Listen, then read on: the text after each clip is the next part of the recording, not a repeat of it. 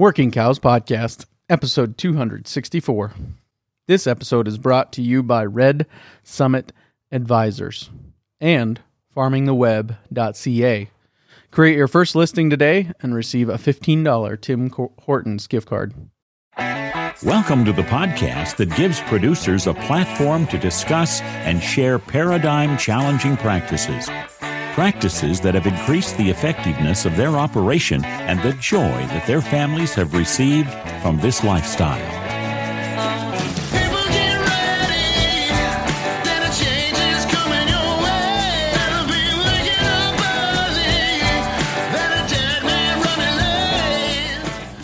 Howdy, everybody. It's Clay Conry, host of the Working Cows podcast, powered by the Global Ag Network. And this episode is brought to you by Red Summit Advisors.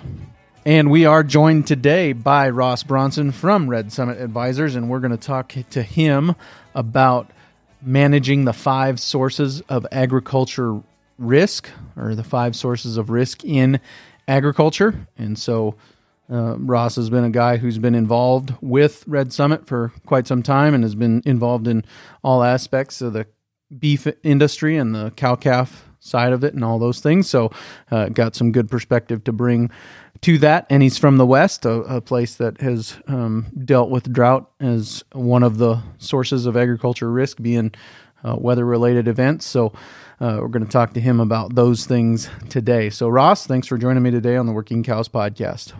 My pleasure. Uh, I was at a management training seminar, I suppose you could call it, uh, a couple of years ago in Canada.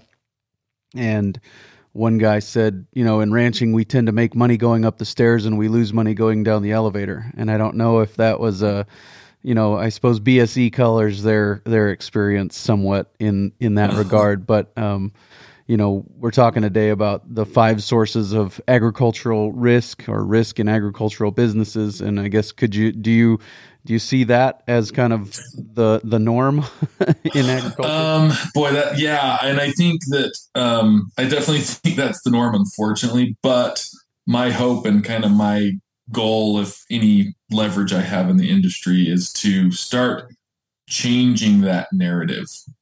Uh, so uh, I think it has been the case. You know, we talk about the price of a pickup truck, right, versus the price of a, of a cow and how you used to be able to sell. You know, I talked to guys, oh, I came back from college and my dad sold two cows and bought me a new truck.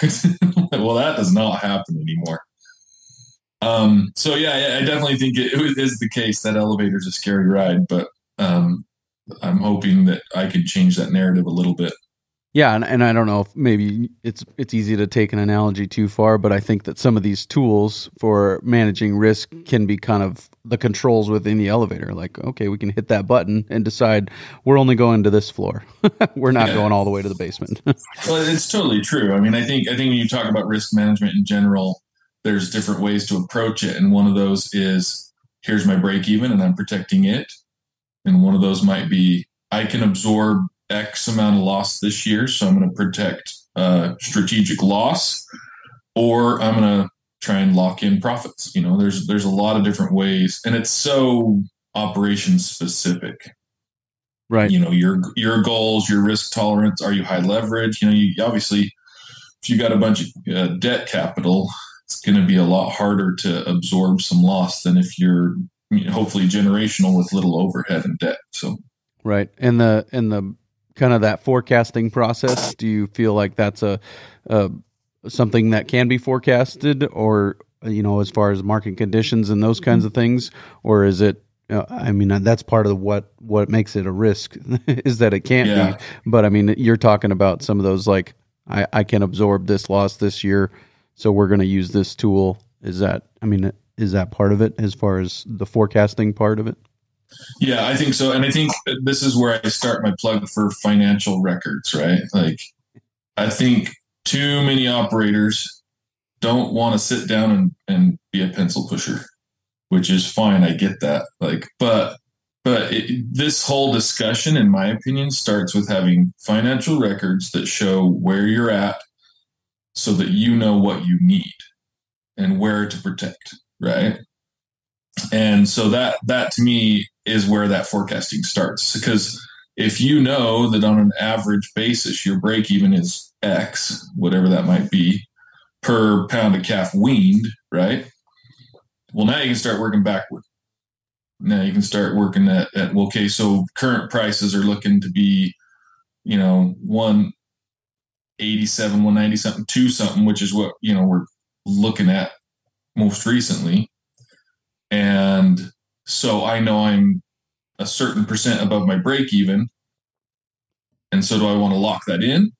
Do I want to uh, just protect that break even? You know, that and so so it really that's my first plug is at ranchers we've got to do a good job of making sure we got some financial records and i actually think there's a current emerging market in um, bookkeepers who mm-hmm. can understand the ranching industry and help these these folks kind of pull their stuff together and stay organized. Yeah, and and, on a you know one one bookkeeper could take on three or four clients, right? right? So I'm I'm kind of pushing that way too.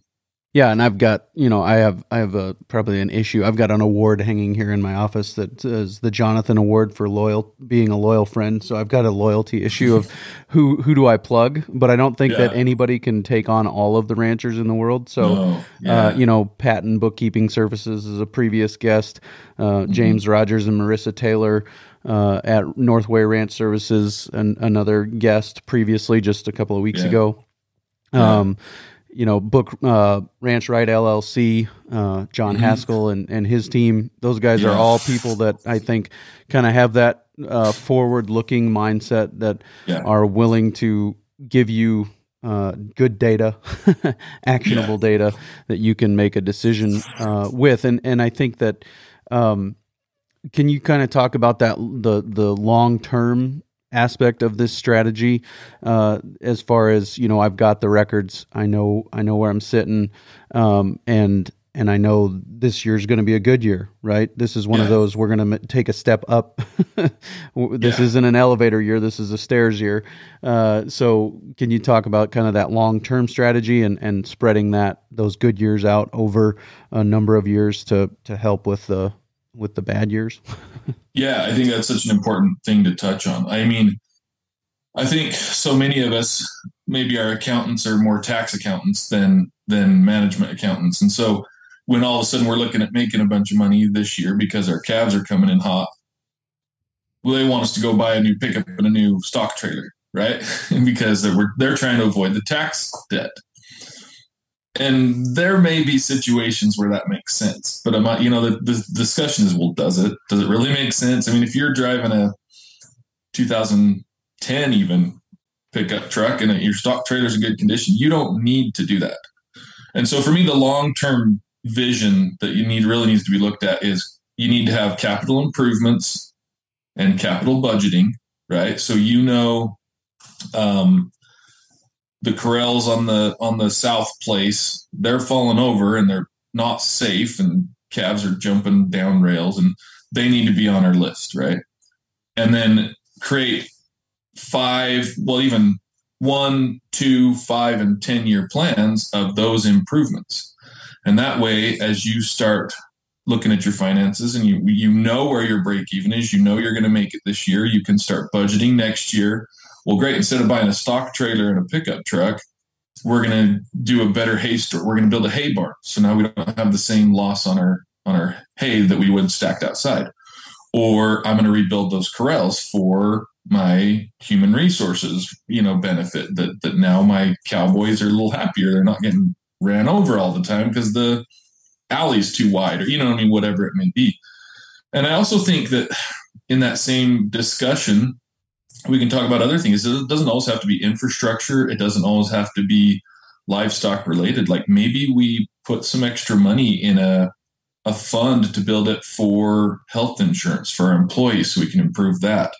Maybe we start figuring out how to build a 401k program. So just those types of things that I think so often as ranchers we're caught up in this year's calf crop, our breed back, and next year's calf crop. And those are obviously really important places to, to look at. But our we are running businesses. And I think that that is a narrative that is changing, which I love and needs to continue changing because it used to be more that it was a lifestyle that you were choosing. And it still is, obviously. But that lifestyle has become a business. And so making those long term business minded decisions, that to me is where, where that that forecasting goes. Well, and back to uh, you know, kind of the where we were early on in this conversation, uh, you talked about selling two cows and buying a brand new pickup. You know, I had a conversation with a guy who ran a welding shop one time. He said, "I bought when I started this uh, started this business. I bought my first pickup for brand new for forty five hundred dollars. Paid cash for it in nineteen eighty one. Uh, you know, and my shop rate was twenty bucks an hour or whatever it was. He said, "Now yeah. let's go back out buy that same new pickup can i charge people that much more for my shop rate and still have any business you know yeah. so so i think that it, it's those uh, in those days it was possible to ranch for the lifestyle mm-hmm. yeah it is yeah. no longer possible to ranch for the lifestyle alone uh, yeah. there has to be the i's dotted and the t's crossed from a financial perspective for it to be sustainable it was yeah. sustainable in those days because of the increase in asset value. The land was appreciating mm-hmm. really quickly. yeah. And it, I don't know that it is anymore, and I don't know that it will continue to. I would I would anticipate a market correction there, but I don't know. Um, and so I think there's there's up there we've got to we've got to take the time to figure out how whether it's a bookkeeping service or our own discipline of yeah. dotting those i's and crossing those t's yeah, and I think that sustainability is such an important thing. And, and I know the King Ranch Institute recent last year, their symposium was kind of defining sustainability. And, you know, the way I define sustainability is it, your ability to pass on something viable and profitable to the next generation, which is a big goal for a lot of producers. And it hasn't been happening over the last few generations because we're running into the financial issue, right? So it just it's kind of this snowball that builds on itself. Right. You know, and passing it on to the next generation, part of passing it on to the next generation is an, an, a next generation that wants the business. yeah. And I think I think well-run businesses, profitable businesses are are more fun to yeah, be around sure. and probably more attractive for the next generation to want to be a part yeah. of it. So Yeah, then my dad used to say your hobby's really fun as long as it makes you money. If it then it then it becomes a stress if you do it as your job. You know, it's just it's just not fun anymore. Mm, yeah. So. Yeah. So I think let's let's turn our attention to these five uh, sources of risk. Um, I think maybe just we'll list them out and then we'll come back to each one of them and talk about some examples and some strategies to to overcome them. So so your five areas of risk are and this all this all comes actually kind of from the the extension program, um, the national extension program. So you're looking at legal risk, human risk, financial risk, production risk, and then your marketing risk. Sure. So, so, those are your five areas of risk, and and you know we can just start at the top if you want. Yep. So legal, right? Legal, obviously, I don't touch very close because I'm not a lawyer. So that's my first disclaimer: is get get a good lawyer that that you don't have to use all the time, but that's available, right? But this legal risk is anything from um, contracts you've entered into for you know products for cattle. It's um, payments on your your debts, right? Basically, anytime you sign your name to something, you are in some ways entering into a form of a legal contract or something that could be construed as a, a legal contract. So the important thing here is one, you want to be able to fulfill your your obligations. And then I think the other side of this is it's important to think about liability in in today's ranching industry. And I I I actually worked a lot in um, ag tourism as well as production. Mm. So I got to see this liability on a very firsthand basis, you know. And unfortunately, um, not to say we're surrounded by idiots necessarily, but let's just say that the logic in a large part of the country is lacking these days. and somebody's going to climb your fence. And it's it's it might be something that seems so absurd to us, like, wow, that calf's really cute. I'm going to go look at it. And we all know how that ends for 70, 80, 90% of cows, right? so that's another thing we really need to consider and, and, is is what type of liability coverage do you have? Is that insurance? Are you looking at um, are you looking at uh, liability waivers? Mm. So th- that's kind of the, the two prong approach there of that one is is one, you know, legal agreements and, and contracts, and two, liability. Yeah, very good. And I, I mean, like just a real simple example, uh, an LLC or some kind of a, a way of separating the business from the persons yeah. involved in the business to make sure that the people don't become financially liable in the event of yeah. you know some kind of it. So that's that's an example of a, a mitigation strategy. So yeah, yeah, uh, business structures is a big one, right? For sure, right. And then the human one, uh, we talk about human risk. And I don't know if you've ever heard this, uh, but the the five Ds we talk about: death, disease, divorce, disaster, disagreement. You know, those are, are kind of mm-hmm. the five Ds that go along with that. Would you? Are you? Is that kind of the channel you're thinking in there as far as human risk? Yeah, I mean, the the the point here is that there are people involved in your operation, and I think that for a long, long time uh, be it because of necessity or whatever, we just haven't put a lot of effort into the human side of ranching. And part of that is because, man, early on, we were a bunch of mean cusses. You know, you had to be to survive, right? Like when you're out in weather and dealing with rank cattle and rank court, you're just not a softy. and I've known some great guys, but you know, we're not. There's not a bunch of softies in the ranching industry. But so so back to your D's, right? Like those are all encompassing because you need mental health for your employees, you need physical safety and health for your employees, and you need um, intellectual property to stay viable and available. Hmm. Right. So if grandpa's the only one that does the books and he's 85, 90 years old, we need to get somebody else in there looking at the books. You know, somebody's got to know so that when, and we're all mortal, you know, when, when grandpa goes, we'll, we'll, we'll lay him to rest with his saddle and, and then we got to come back and run the business. So and you know you talked about divorce and that and, and it just think it's it's so important that we have a balance here. And this is hard. This is hard in the ranching industry. Because if we're not going to work big long hours and days we're going to have a higher labor cost because we need to spread that labor over more people. And so um, this conversation i think is happening especially as we watch fewer of the next generation come back, or for that matter, the ability to hire quality employees. Um, this conversation is definitely going on.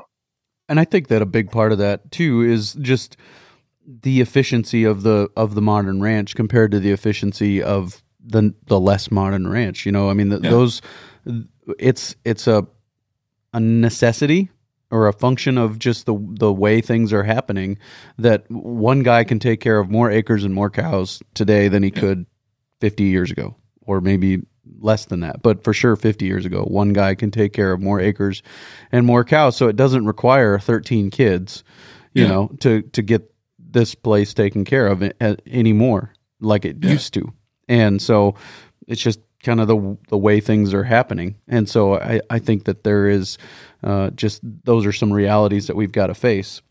Mm-hmm. Um, you know, some good examples I think of this are are um, you know I, I think it may be uh, Elaine Froese who talks about you know her son. They've got an agreement with her daughter-in-law, and she knows that if her son passes away, she's still taken care of by the family. Yeah. You know, I mean, there's yeah. but they have that in in writing, and and everybody's aware of it, and there's good communication, you know, and so I, I think that's a a really helpful example. Do you have anything else along those lines as far as examples or or things that people should be thinking about? Yeah, I mean, I think it goes even to the other end where where I think the older generation doesn't want to just be abandoned and feel like mm. they're put out to pasture, right? So, uh, some sort of structure where there's, even if it's not maybe a legal structure, but where there's a board that meets on a monthly basis and can talk about what's going on so that, you know, dad or grandpa's still involved in that conversation. And, and to me, I, I'm, I'm a big proponent of communication in general in life, but this communication is something that I think we've struggled with.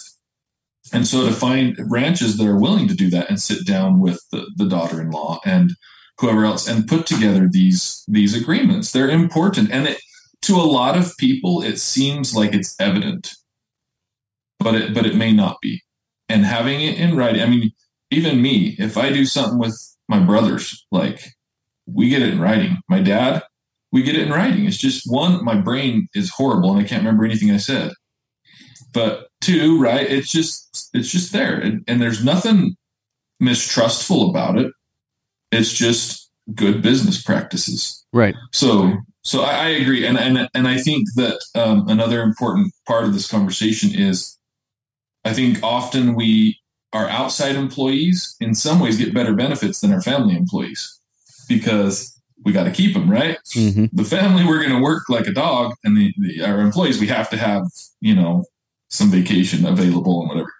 So I think that's another important part is making sure everyone is treated as an employee, so so to speak. That family members are getting rest and time away too. You know, mental health right now is a conversation really going on with a lot of extension programs and stuff like that because it, it needs to be. Right.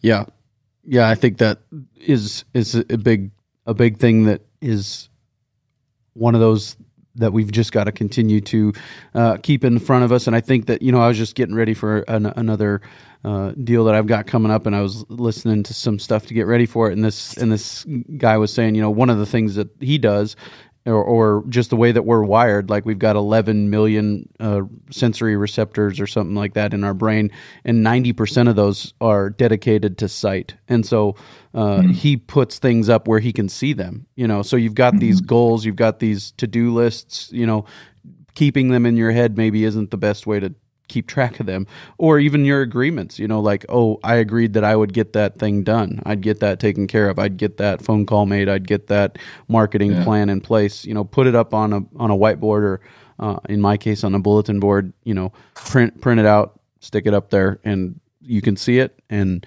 uh, make sure that it doesn't just become part of the the mass of other things that are stuck up there so that you can uh, continue yeah. to refer back to it until it's done. Take it down, put it away, put something else that's up the, up there. So I think just some of those strategies. Uh, anything else as far as those strategies are concerned, or think tools that you found helpful? No, I think for me it's just about educating yourself a little bit. Um, there's there's only a few people out there in the ag industry that are really kind of uh, human resource in the ag industry type people but seek them out and get on some of their email lists mm. and, and, some stuff like that. I know there's there's some uh, lectureships that happen about you know human resources in the ranching industry, management, people management in the ranching industry. Um, you know, just seek out some of those and go to one or two. Just just just to get your brain rolling. Right. You, know, you don't have to you don't have to adopt everything they say but just get that brain mulling around. And, and again it's it's going to be personal to your folks and your operation. Yeah so. yep. Yeah and i i think that it's um in today's world there's oftentimes a, a zoom live stream or or a youtube live stream that you can watch. And i would recommend either you know dedicating one person to watch it and take notes and bring it back to the group or the whole group to just sit down and watch it together. You know yeah. something like that yeah, agreed, hundred percent. So the next is up. Uh, next up is financial. Uh, some of these financial risk, uh, you know, sources of risk that we're we're seeking to pay attention to. Can you give me some examples of what you're thinking about there? Yeah, and, and, and in some ways, I kind of already gave my big plug for this. Uh, you know, financial is really where all the other four areas feed into, in my opinion. Right, like like your legal risk can have financial repercussions. Losing uh, employees can have financial repercussions. So, but um, in particular, this is a discussion about really cost, you know, incomes and expenditures.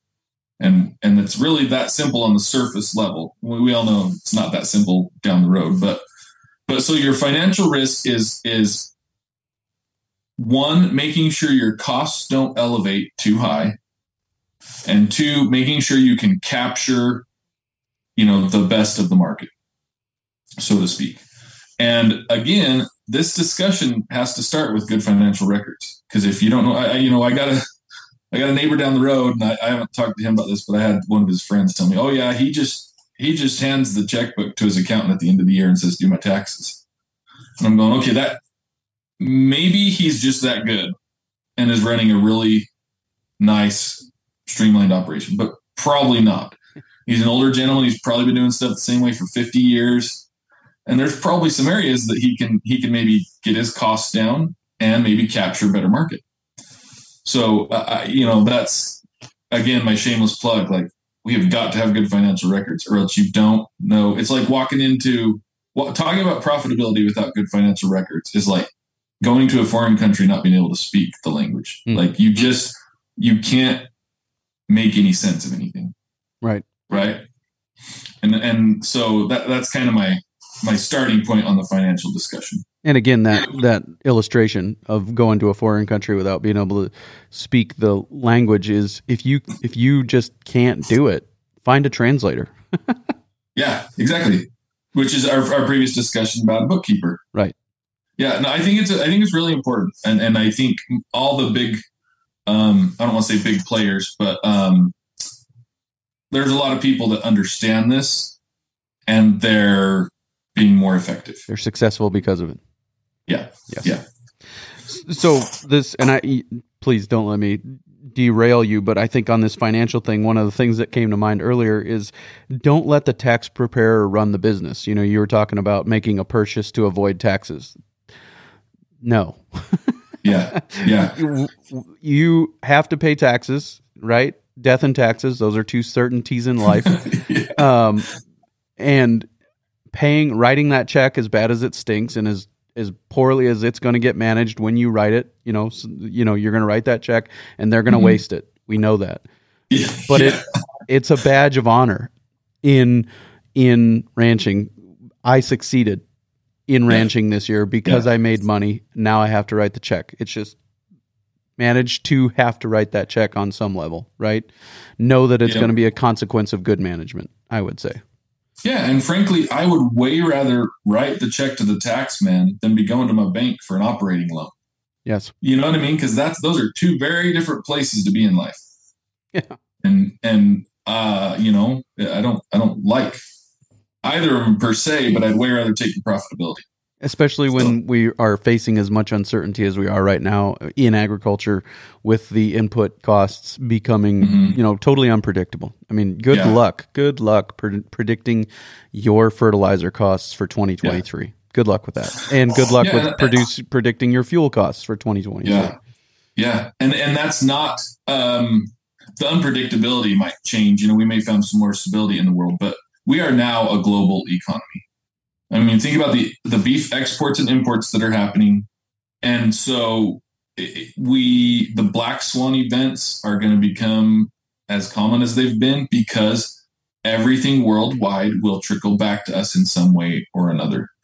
I mean, you know, however many years ago, I mean, I don't even dare say, but a, a war in with Russia and Ukraine wouldn't have affected us as much because it would have been a more national supply chain well, almost all the supply chains now are international supply chains.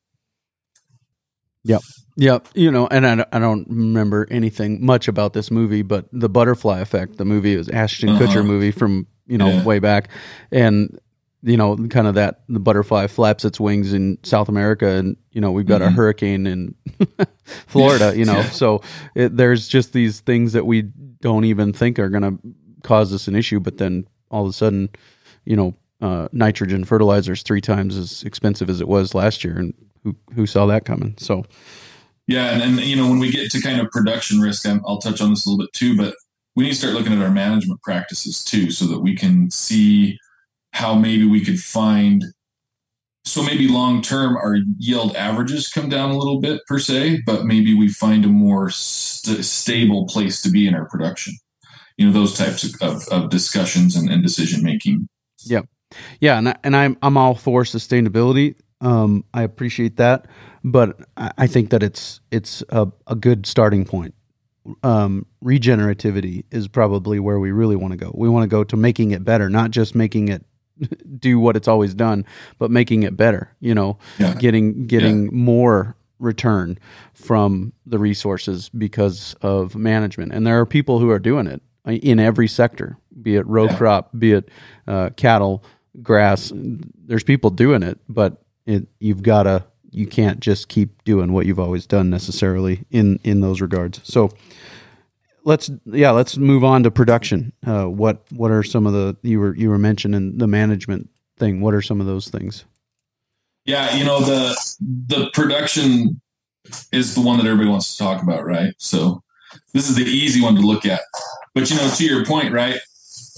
Uh, the regenerative movement really talks about um, stocking rates and, and rest. You know, I mean, if you want to talk about this, break down the simplicity of how they manage grazing, right? And so you may need to either create some infrastructure or um, maybe just lessen if you don't have the the money for infrastructure. Reevaluate how you stock your pastures, which in the short term may feel like you're giving something up. But in the long term, right, if you've been managed, so I, I experienced this firsthand. I bought cattle from a gentleman in Colorado and leased back his range. My first year, we hit D4 drought. but he had been conservatively managing his pastures mm. for so long that I didn't have to sell anything. Wow. And and and we grazed it a little harder than I would have liked to. But man, there was still foot tall grass up under the sagebrush. You know what I mean? So, so although maybe he could have maximized that long term in that drought situation, he was okay. We were okay. And I've seen that over and over and over and over again. I think, um, you know, I, I was lucky enough to spend a lot of time on some big South Texas ranches, and down there it's so volatile mm. that they just have to keep some standing forage kicking around. And, and it's hard too, because it's a lot of those warmer tropical grasses they don't they don't hold their nutrition as well but their stocking rates are so conservative down there because they learned kind of the hard way. You know these are these are generational ranches who've and and progressive generational ranches that have been able to look and learn from mistakes along the way. You know and kind of to illustrate the other side of that i had a right next door neighbor and man he just grazed the crud out of everything. And when it was dry, guess who had cows in the corral mm. or on his hay meadow or had to buy more? You know what I mean? So, so these production decisions, while on the surface may feel like you're giving something up, it, to me, it goes back to that long term vision. Let's not look so much on, on the pennies for today. Let's look at, at the dollars for tomorrow. Yeah. So Yep, yep, and talk about some of the uh, some of the ways to uh, mitigate this risk. Uh, you know, is diversification, mm-hmm. integration, and insurance. So, can you kind of talk to me about what you mean by each one of those? Yeah, so so I think diversification is is probably a hard one for a lot of people. They um, but let me tell you, you you start Noble Research Institute is going really hardcore regenerative right now, mm-hmm. which is really cool. And I love I got to spend some time with them when I was in my grad program. There, I love Noble Research Institute. Well, they recognize the need for kind of multi-species grazing to get some more out of their pastures and you know just to see impacts different impacts well so they've added sheep and those sheep think about compare this to cattle right there those sheep in year one paid off half their note. you know what I mean? And their stocking rates on their cattle haven't hardly changed, which I've done some research on this before. And that's what, what most research shows is that you can run them concurrently or behind each other or in front of each other, and your stocking rates on neither have changed. Well, can you imagine if now you've added a whole new revenue stream without sacrificing anything else? and not that I'm recommending all ranchers go out and buy sheep. And of course, I'm sure a bunch of your listeners are sheep guys, and they're going, "Well, yeah, it's because we're smart, right?" Good job, guys. They looked really smart for the last three years. That's for sure. yeah, for sure. The last three years. Um, but so anyway, so so I think um, diversification, and, and it doesn't have to be livestock. So many ranchers now are putting a cabin up in the hills and renting it out. Are offering outfitter services. You know, when you've got thousands of acres, like a lot of these Western ranches do, there is a lot of money in tourism. And and like I said, I've worked in, in ag tourism. And if you are not at least considering it on your property in some way, shape, or form, you're probably leaving money on the table. Yep. And and the cool thing about it is you can do it at whatever level you want, whether it's the dry cabin out back or the fancy lodge that you rent out to corporations. And as long as you are accurately describing and advertising what you have, there is a customer for it. Hmm. When you start talking about the percent of our population who's two, three generations removed from agriculture, it's this novelty. Mm-hmm. I used to joke that as a cowboy in in real heavy tourism areas like um, West Yellowstone, Montana, Jackson Hole, even I worked for a, I ran a ranch for a large resort. You're like Santa Claus. you know, you say, oh, he's a real cowboy. And like, well, as opposed to what, you know? So, so anyway, that I think that's another part of, of how diversification diversification is is important. And I would say that all all of those can be subcontracted. Even the sheep yes. can be subcontracted. Yeah. Um, yeah. You know, I mean, and and kind of back to that human resources uh, discussion. Um, we we didn't get into, and we've said it too many times probably, but we didn't get into ranching because we enjoyed working with people. you know? Yeah. and so yeah. not that we have that opportunity or that option. You know it's a people business. You're going to have to figure out. And i think that look, back to what you said about financial uh, people who are uh-huh. doing well uh, in this business are people who know these numbers and are paying attention to them and i think the same is said for and they're, they're the same people a lot of times. The people who understand how to work with people are the ones that are doing this well. And so if you're going to get into yeah. direct marketing beef, if you're going to get into, uh, you know, uh, a hunting lodge, if you're going to get into uh, grazing sheep, those are all going to be probably different layers of people that you're going to have to deal with. But you could subcontract out the direct dealing with the groups of people to dealing with just one subcontractor who's going to manage the hunting lease, who's going to manage yeah. the the lodge, or I, you know, Sage Askin uh, said one time on mm-hmm. the Working Cows podcast, he said, I think the average 300 cow ranch could sell 100 cows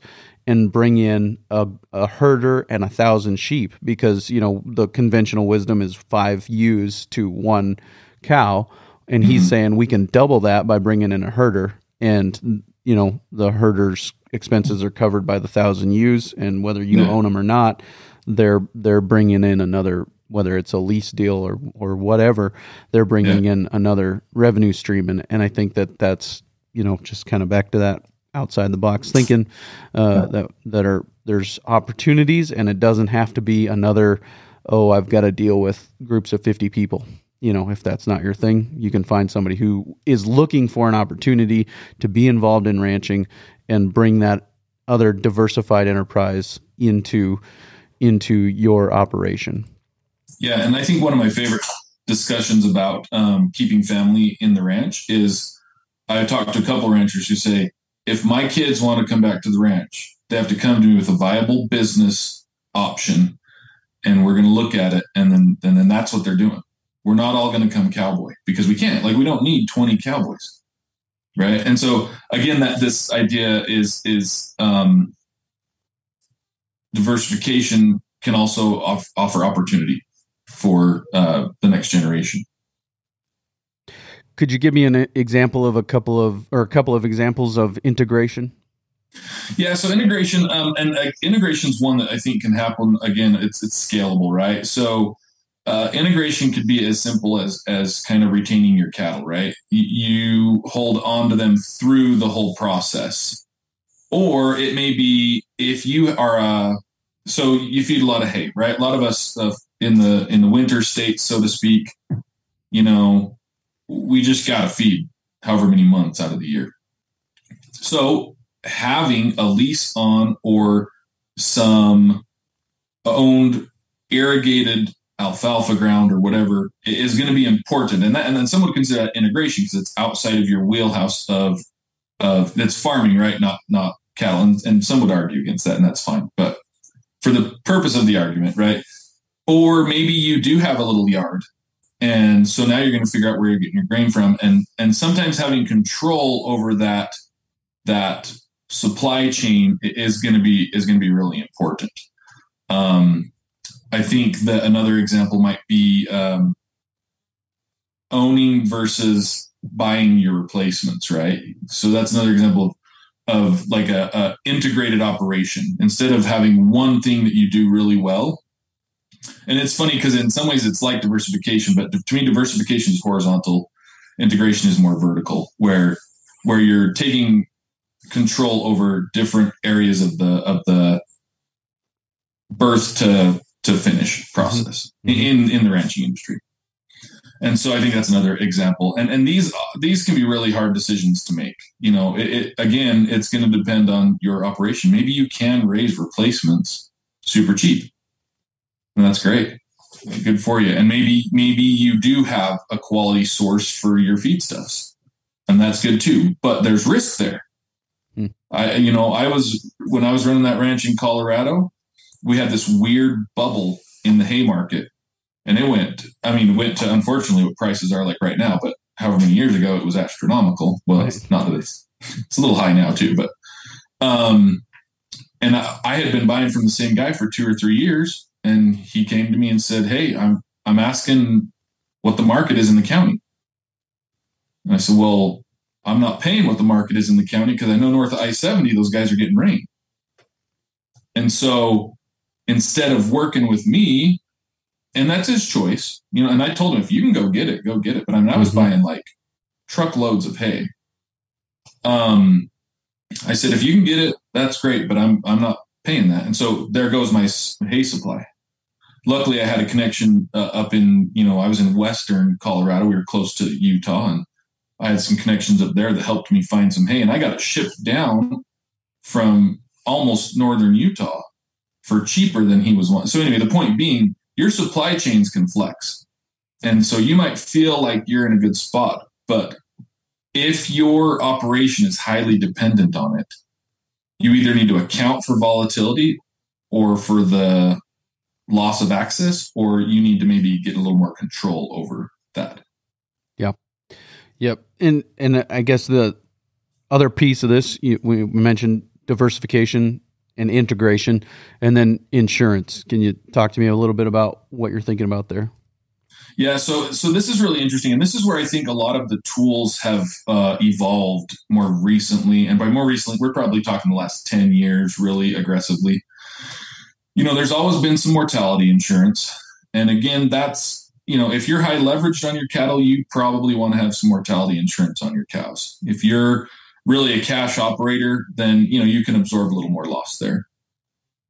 But um, really, what we're talking about now is these things that can that can um, help mitigate that that risk for these production and or market type stuff, right? So pasture range land and forage is the big one that, that we do and it's um, a lot of people are hearing about it especially with the prolonged droughts that we've been having in such a huge percent of the country and what pasture rangeland and forage is is your your insuring your pasture production, right? Because we all know it, in times of drought, your pastures are going to be less quality and not last as long, and that's going to have repercussions down the line.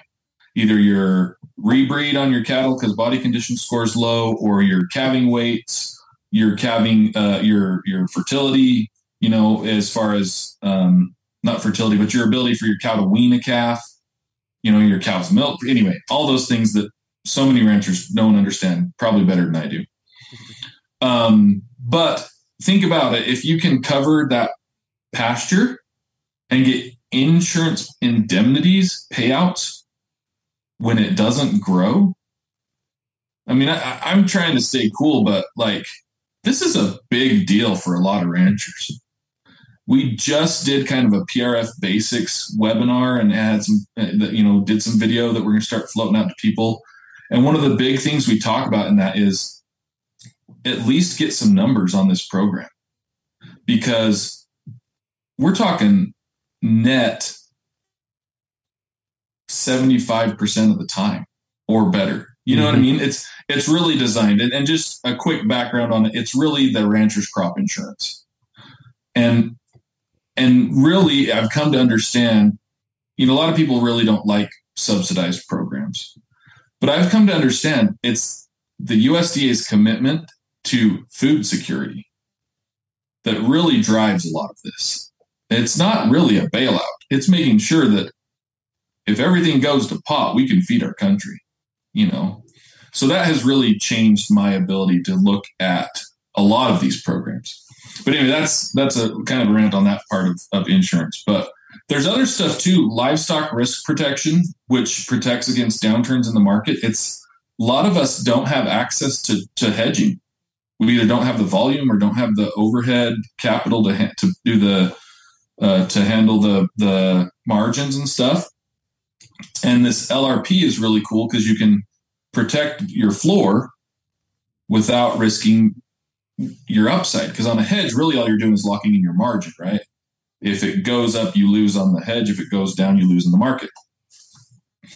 But LRP provides an opportunity to protect that that risk associated with your price on your production. And the cool thing is, in my opinion, it, it doesn't even matter what you get for your calves. So you can sell your calves. You can go to any type of premium, you know, kickback, the, you know, black Angus, whatever you want it to be, and hopefully do really well on your calves and still protect against a downturn in the futures market without really trying to do it an actual hedge. So, um, and there's several different programs like that. We've got there's whole farm pro, pro uh, revenue programs. There's um, livestock gross margin for these guys that are a little bit integrated and, and have feedstuffs. And so this insurance game is is changing quite a bit. It's more than I think it, it and people think of it like your car insurance. Well, I'm going to pay two hundred dollars a a month and never have an accident and just throw that money away. But really, a lot of these programs are designed to benefit ranchers. It's it's really stacked in their favor, which seems so odd, but it, it, it's really the case.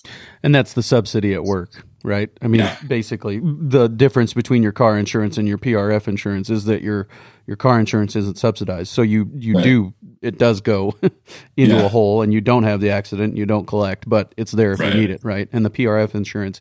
And here, I mean, you know, kind of back to your rant and, and the way that I rationalize it in my mind and somebody can email me and tell me I'm I'm just rationalizing it and I'll be okay with that.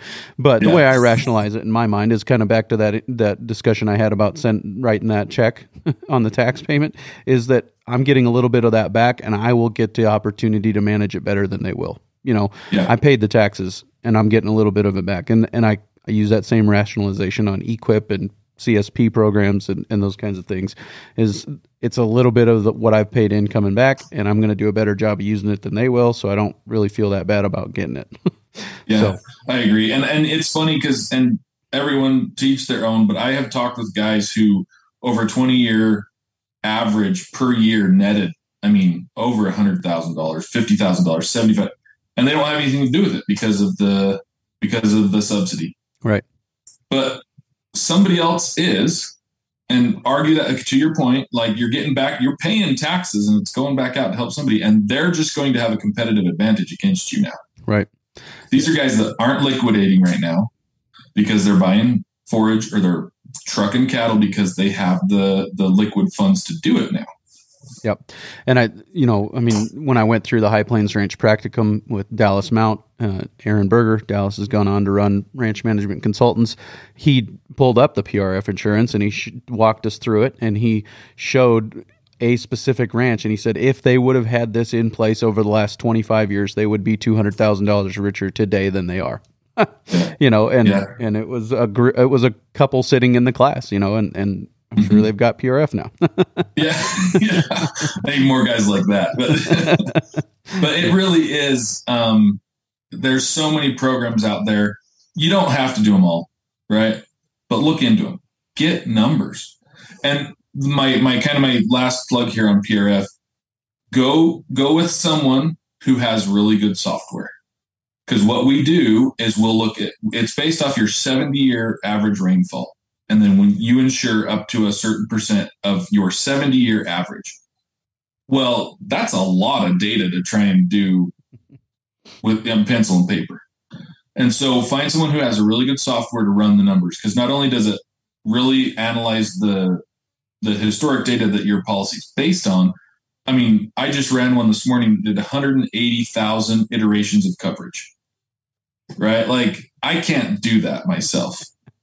So just that's that's kind of my last plug on, on pasture rangeland and forage. Yep. And and Red Summit does offer a, suite of these uh, programs, right? I mean, you guys yeah. doing the PRF and the LRP and are, are some PRF, others? LRP. We're we're um, we can offer basically any of the USDA uh, program. The RMA programs is really where they're coming from.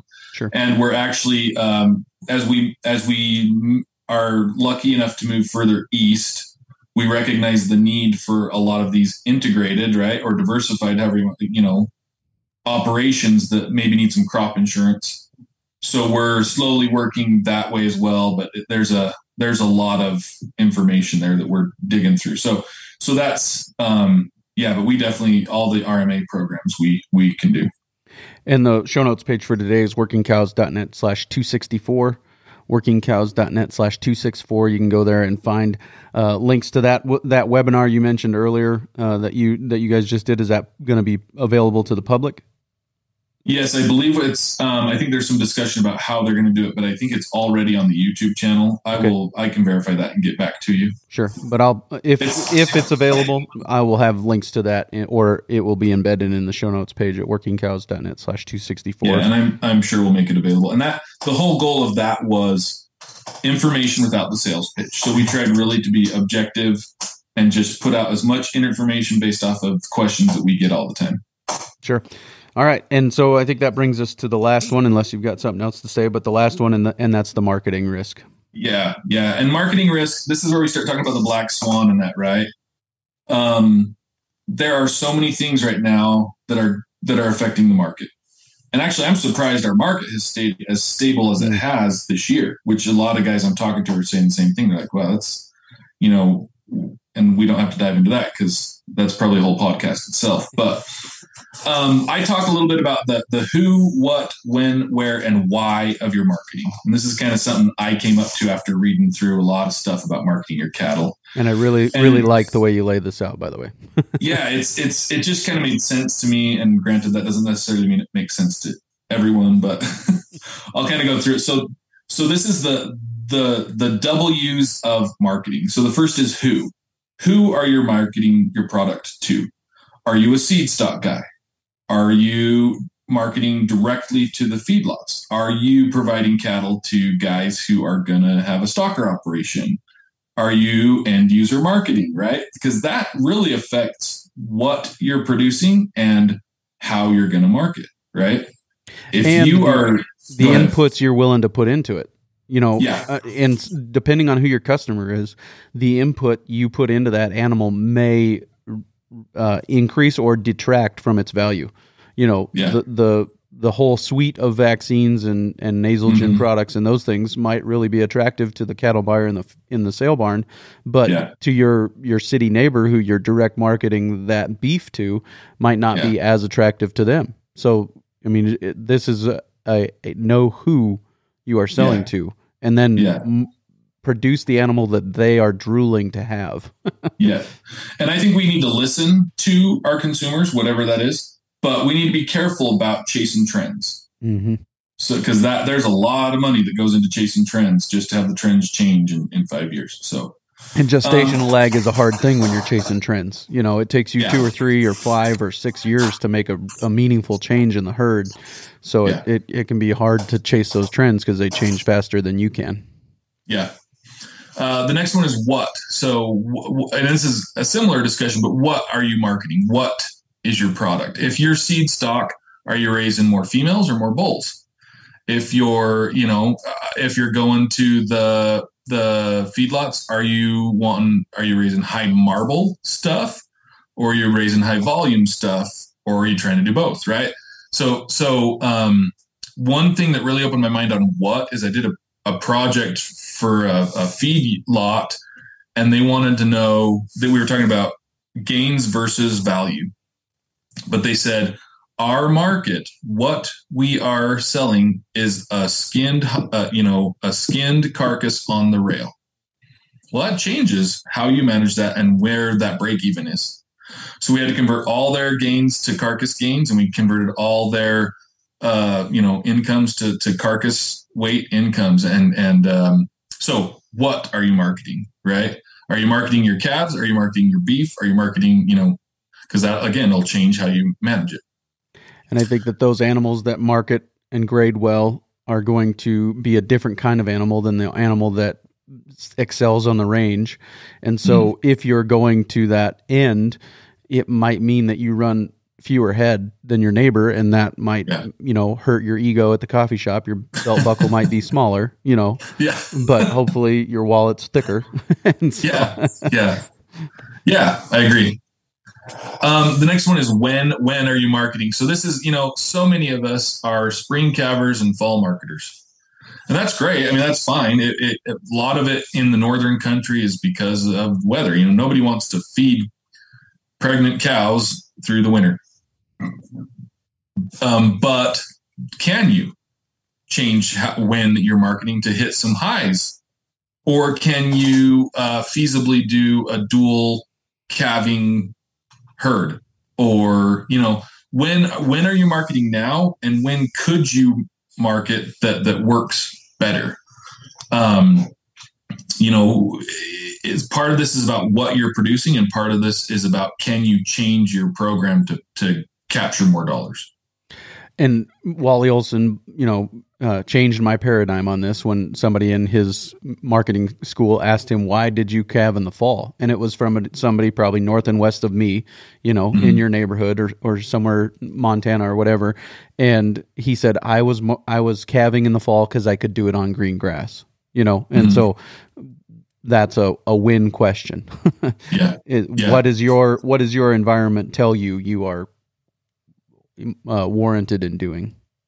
Yeah, and even if we get away from the cow calf guy and start talking about stockers or you know whatever, well, where where are people calving out the calves that you're going to want when it's time to go on on grass, right? And and how do you get a hold of them? And is it worth maybe paying a little bit extra? I mean, this is you got to do the numbers. Is it worth paying a little extra to ship somebody and get these good calves from somebody further south or whatever when you're ready to go on grass. Mm-hmm. Yep. Um, next one is where, and uh, you know I could harp on this for a while, but again, it, it, these all have a similar vein, right? Are you just dropping your calves at the at the local auction barn? And bless the local auction barn; they're so imperative in the market. But your weaned calves at the mark at the local auction I don't know that that's the best choice for most guys. Your cull cows, sure, do it. Your cull bulls, great. But my personal opinion is if you're everybody's running their calves to the local sale barn, at least look at some other options. I'm not saying you're wrong, but but at least broaden your horizon a little bit. The local sale barns recognize this too, right? And I, I can give you a perfect example. I know a guy who uh, 25 years ago, probably, sold his calves. He was working at a sale barn and he sold his calves on the video and he got fired from the sale barn. oh. You know, and now, now all of the calves sold on the video go to the local auction barn and run across the scale to get weighed because they mm-hmm. recognize the change. And so, yeah. I mean, it's they're they're part of the the system now. It's not yeah. like they're they're going to become obsolete or unnecessary. They're part of the system. Yeah, agreed. So, so yeah, I agree 100. percent And then, and this too can be, um, you know, for those of you who are who are able to do some end user marketing, where are you marketing that? Mm. Are you online? Are you just farmers markets?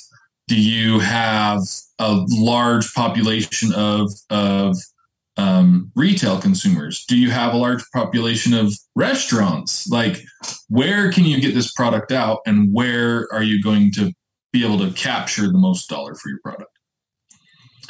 And then the last is the why. And I think this is really important because um, it feeds into the rest of the context. Why are you marketing the way that you do? And this is just an honest question for yourself. Why am I running my calves through the sale barn? Why am I weaning in October and marketing then? Why am I X, Y, Z, whatever? And some people will find the answer to that to be very potent and, and give good cause for what they're doing. And some people might realize, if they're honest with themselves, oh, because it's a heck of a lot easier to me to wean onto the truck and just be done with them. By the time fall rolls around or whatever, I'm so tired. I just want to put my feet by the fire. so, you know, ask yourself why, and then and then think differently, just for a minute. You may decide what you're doing is great, but take a minute to think differently for a little while. Yep.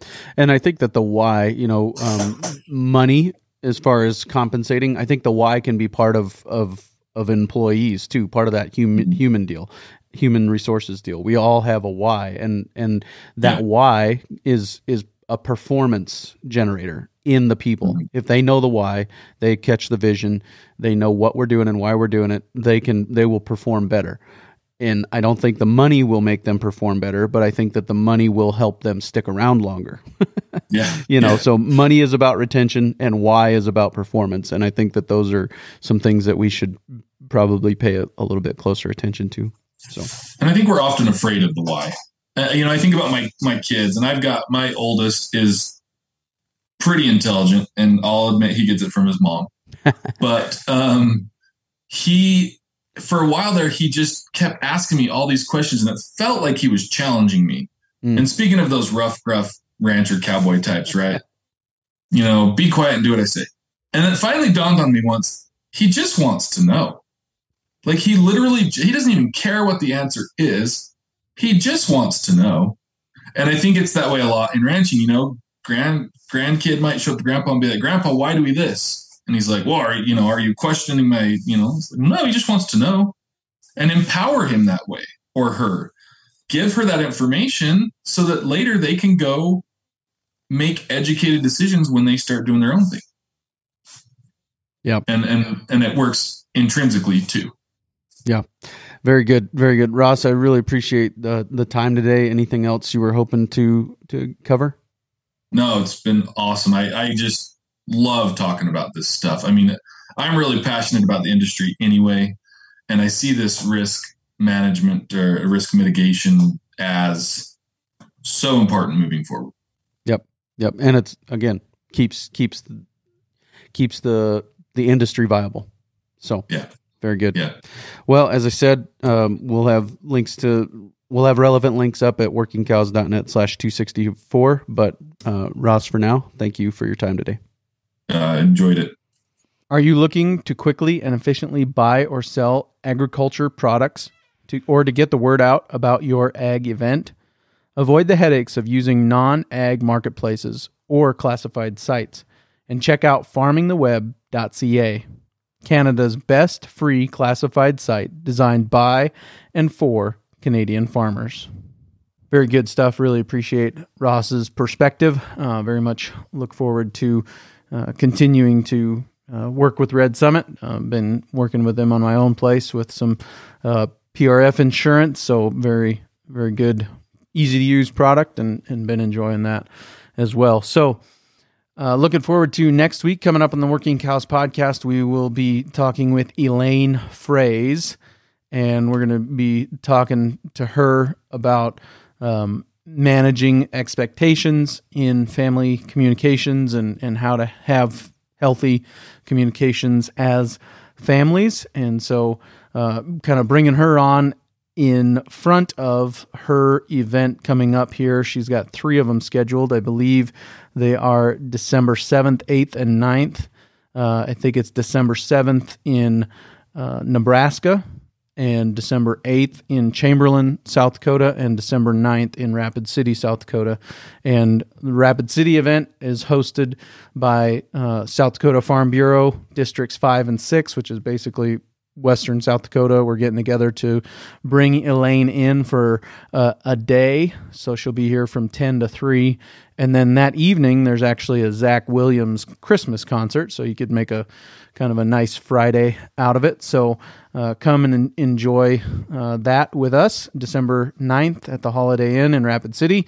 Uh, should be uh, registration link up in the show notes page for next week so that you can come and join us for that. So I encourage you to check that out. Coming your way real soon, another another episode of the Working Cows podcast.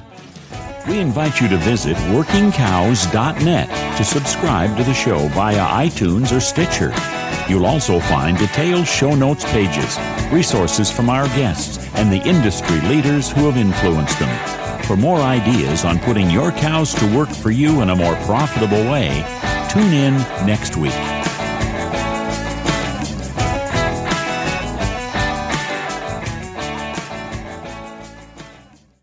Are you looking f- are you looking to quickly and efficiently buy or sell agricultural products?